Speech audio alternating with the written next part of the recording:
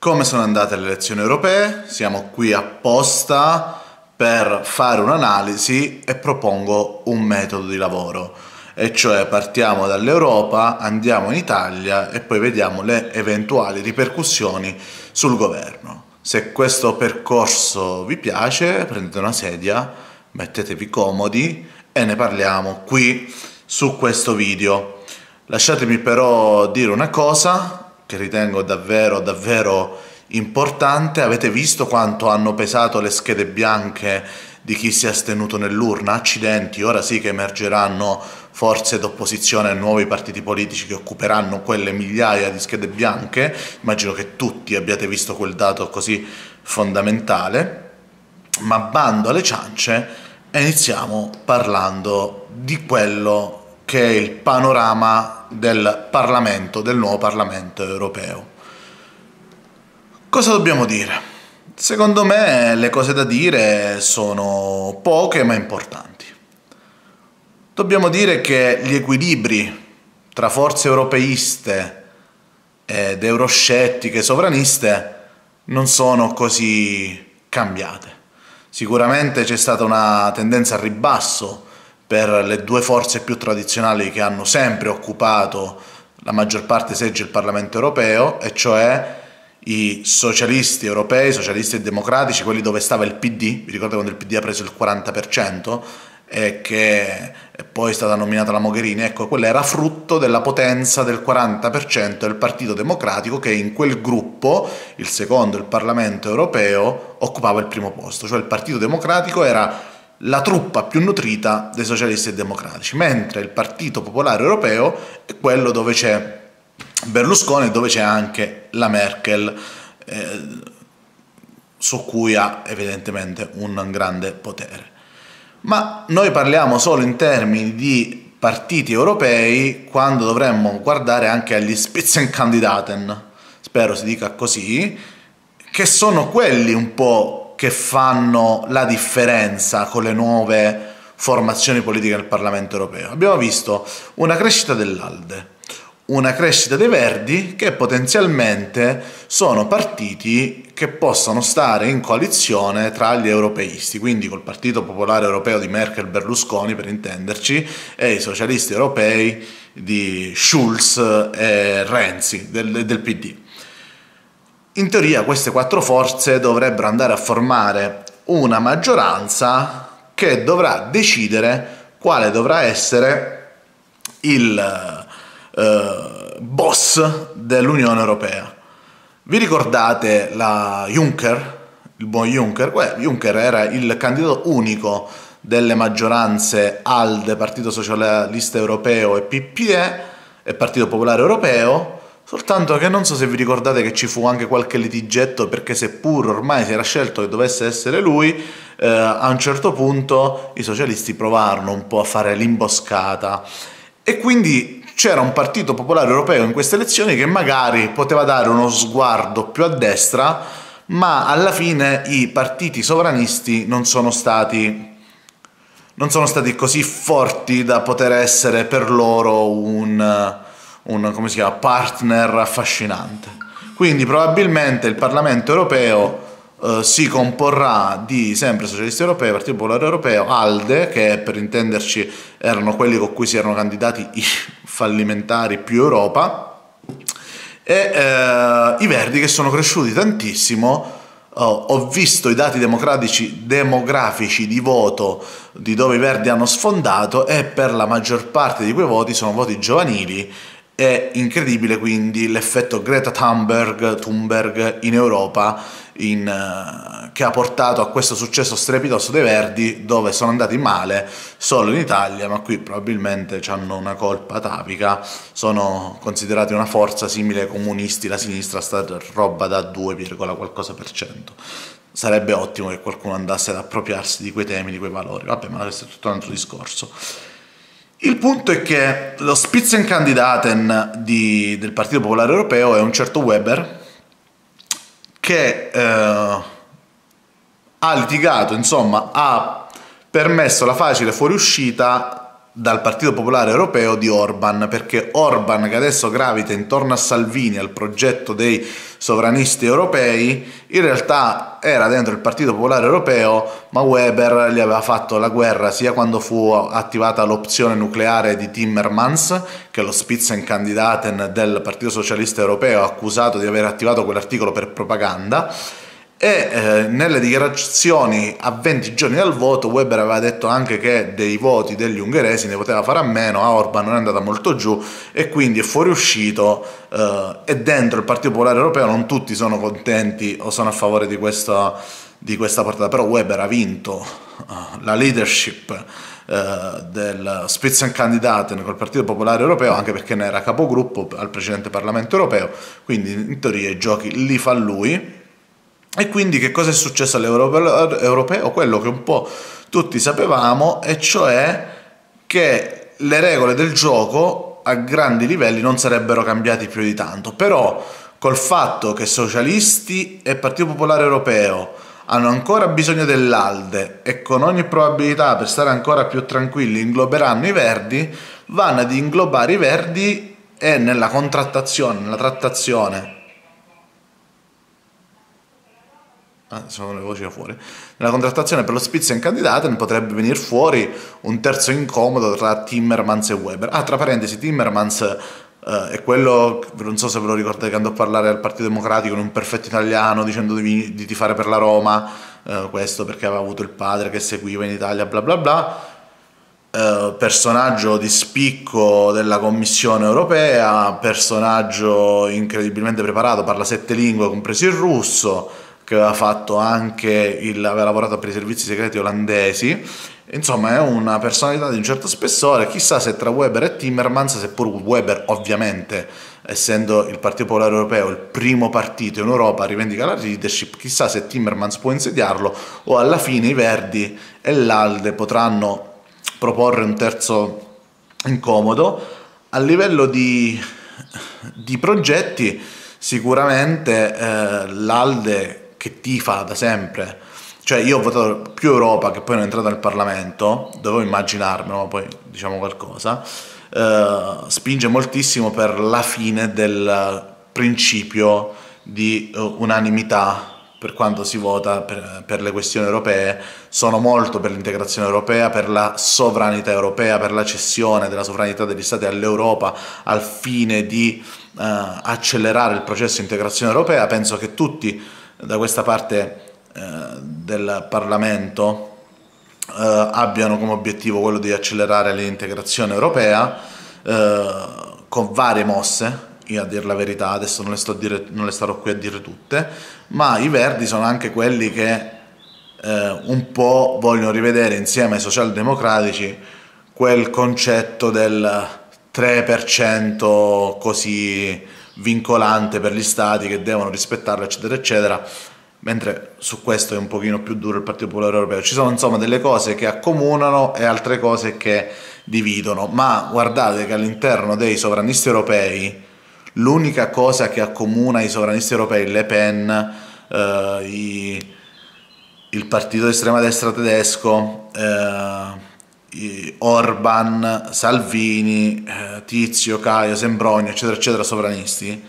oltre alle, alla critica all'Europa, eh, per varie ragioni, non le accomuna nulla. Perché sia per quanto riguarda la questione dell'immigrazione, sia la questione eh, economica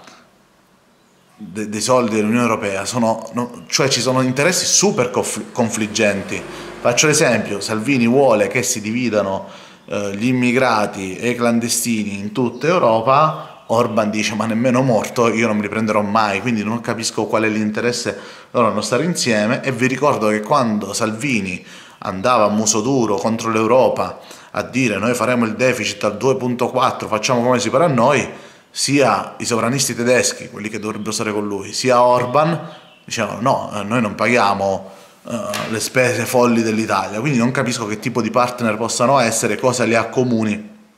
principalmente anche perché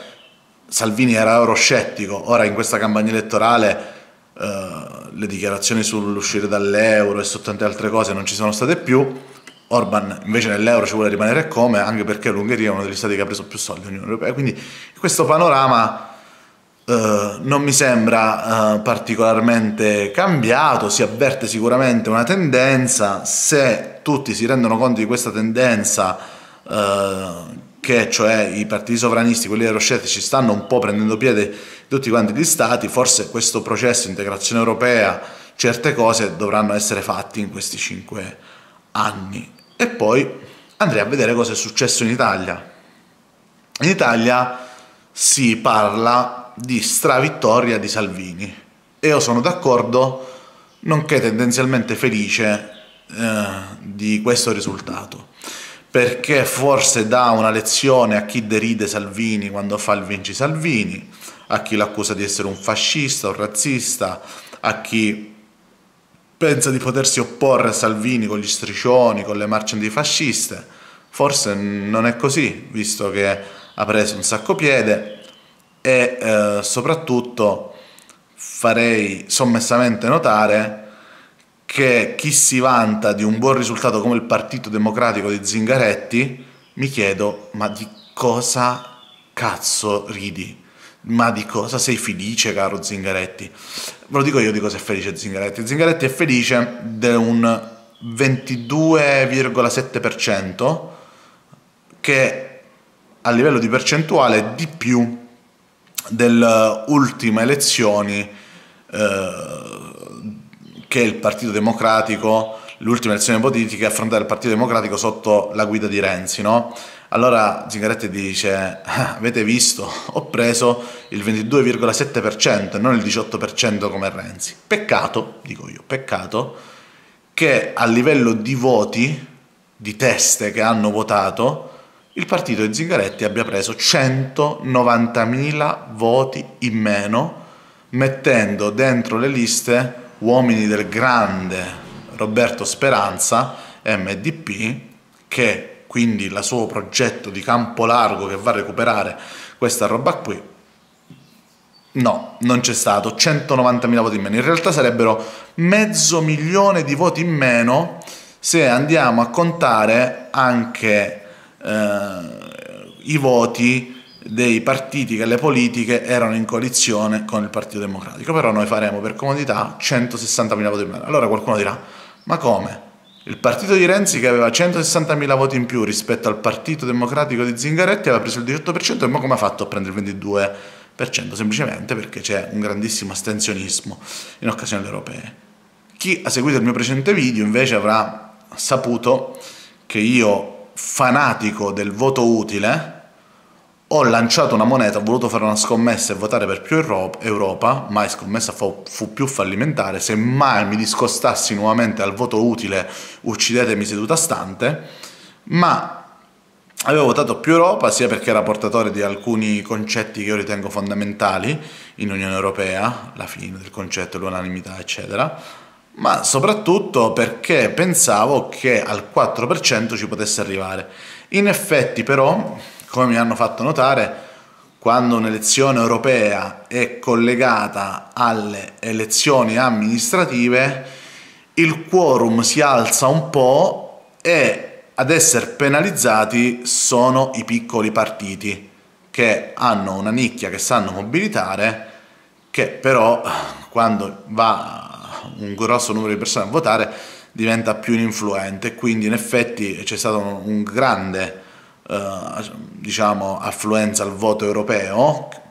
per quella che è la tendenza del voto europeo. E quindi in effetti il 4% era un pochino più difficile. Io però nel video l'avevo detto voto più Europa semplicemente perché ritengo che non cambino in modo clamoroso le cose a livello europeo non ci saranno i sovranisti eh, che picchiano perlomeno non in queste elezioni. Alla fine è andata così, quindi sono contento di aver sbagliato consapevolmente ad abbandonare il metodo del voto utile proprio in un'elezione che in effetti, come avevo valutato, non ha portato grandi conseguenze. Un, comunque, per rimanere sul Partito Democratico, uno Zingaretti contento di non so bene cosa, di aver superato il Movimento 5 Stelle che questo morto che passa davanti a Zingaretti trascinato dalla corrente del fiume, non è altro che un morto ucciso a monte da Renzi non volendosi alleare col Movimento 5 Stelle. Eh, tra parentesi, ribadisco anche un partito democratico forte di una campagna enorme condotta nel nord-est ma che ha spinto un pochino in tutta Italia da Calenda e dal progetto Siamo Europei e da Pisapia. Calenda campione di preferenze nel PD, candidato solo nel nord-est e Pisapia pure che è andato bene, insieme i due fanno mezzo milione di voti. Cioè eh, Zingaretti ha questo 22% dietro cui nascondere una mancanza di contenuti, lo reputo un 22% è qualcosa molto situazionista, non solido, non stabile, anche se il voto delle europee ad un anno di distanza alle politiche dimostra come questo voto sia fluidissimo, cioè abbiamo un partito che eh, Renzi dal 40% in 4-5 anni è passato al 18% delle europee, se poi vogliamo dire vogliamo fare anche esempi con referendum, ma non è il caso, abbiamo un partito come la Lega che passa prima al 17% e ora al 34%, abbiamo un Movimento 5 Stelle che un anno fa era al 33% e ora è passato al 19% facendo superare il PG, ci troviamo davanti a un voto gassoso, neanche liquido. Dove sono andati a finire i 6 milioni di voti in meno del Movimento 5 Stelle? Alcuni sono andati nella, nella Lega, che ha preso 2 milioni e mezzo di voti in più rispetto alle politiche. Molti invece si sono astenuti, cioè evidentemente c'è un popolo che ha mal digerito le giravolte del Movimento 5 Stelle su molti punti, TAV, TAP, ILVA, cose così, e che probabilmente quel reddito di cittadinanza fatto arrivare repentinamente prima delle europee reddito di cittadinanza fatto davvero davvero male, si vede che era per comprare il voto, non ha comprato il voto molto bene. E, ehm, quindi quando ho visto Di Maio non presentarsi in conferenza stampa durante la notte e vederlo il giorno dopo lì come se nulla fosse, senza presentare dimissioni, molto più dignitoso Renzi che ha presentato dimissioni quando ha fallito, bah, mi ha, mi ha stupito. Uh, un Berlusconi che col suo 8,5%, uh, vabbè, Giorgia Meloni che va bene, può, può convincere di più un Salvini a, ad andare a nuove elezioni, cioè lo, lo rassicura visto che Salvini e la Meloni insieme fanno il 4%. Berlusconi è ancora non totalmente inutile perché seppure è vero che il Movimento 5 Stelle al 19% ha perso 6 milioni di voti, al sud è ancora primo partito e visto che per legge elettorale italiana, per avere la maggioranza di rappresentanti in Parlamento, bisogna vincere un 30% dei seggi con le elezioni uninominali, forse in Sicilia, eh, dove Salvini non ha il 34% nazionale, ha dei voti più bassi, insieme alla sola Giorgia Meloni non vincerebbe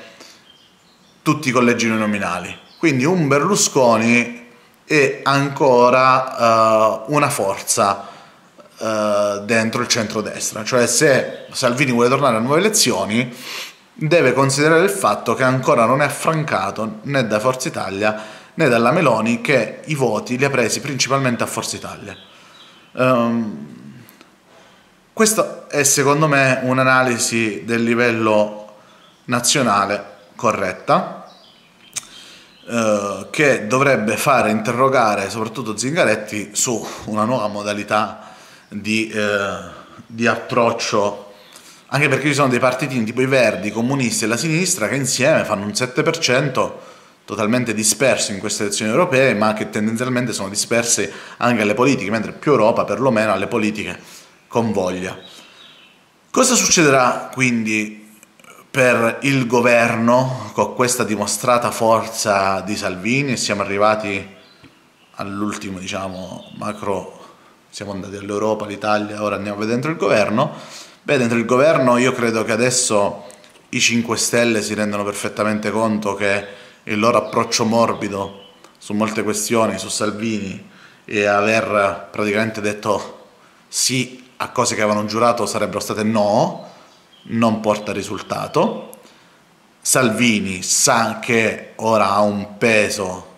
specifico enorme e io penso che la prima battaglia si combatterà sulla TAV. Ci sarà un Salvini che forte di questo voto dirà ora si fa e i 5 Stelle che rendendosi conto che dei troppi no che hanno detto gli rimane questa grande battaglia ideologica sulla TAV e bisogna vedere un pochino cosa succederà. Credo che però sulla TAV il compromesso sia possibile. Nel senso, sentivo un'analisi non so dove sulla 7, effettivamente i 5 Stelle avevano provato a rivedere la loro posizione sulla TAV con un costi-benefici. Ora, da questa relazione costi-benefici, che è stata anche contestata per vari motivi, veniva fuori che i costi erano superiori ai benefici, hanno dato di nuovo il loro no. Se vogliono risolverla, se Salvini è intenzionato a risolverla questa cosa,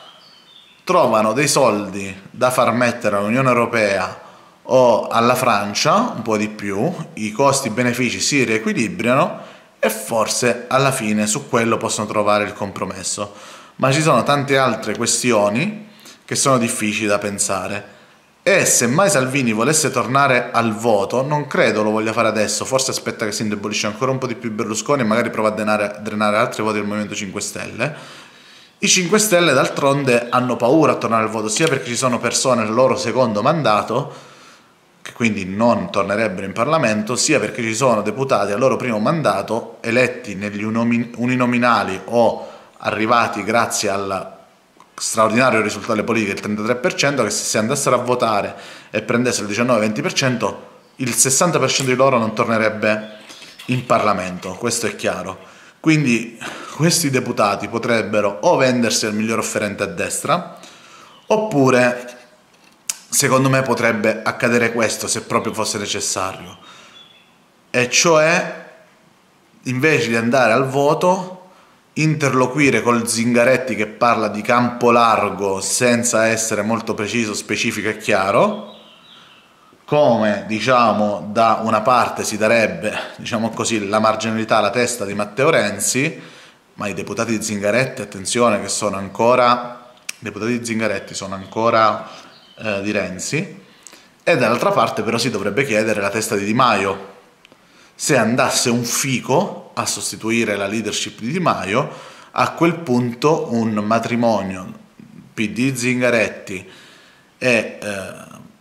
5 Stelle Fico sarebbe possibile e potrebbero attendere che si sgonfi eh, la Lega e fare delle cose insieme con, non un contratto di governo come quello finto, l'inciucio Lega 5 Stelle, ma un contratto di governo come fanno in Germania, cioè che ogni argomento ha 150 pagine scritte, ben definite, non dei puntini generici. Però ripeto, per Zingaretti potrebbe essere difficoltoso farlo senza che cada la testa di Di Maio, proprio perché ci sono i parlamentari di Renzi ancora, lui gestisce i parlamentari di Renzi. Come hanno accolto il risultato di,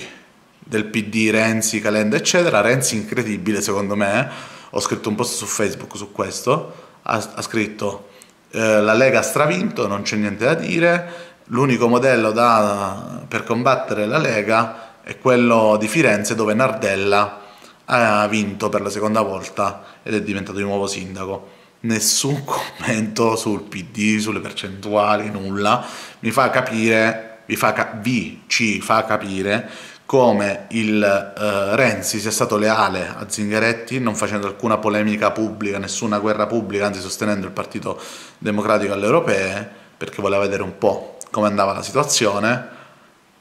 e Zingaretti copre copre quello che in realtà non è stato un successo. E secondo me c'è anche una differenza di stile perché quando il PD alle europee vinse il 40% nella foto, l'ha mostrato Ansaldi questo,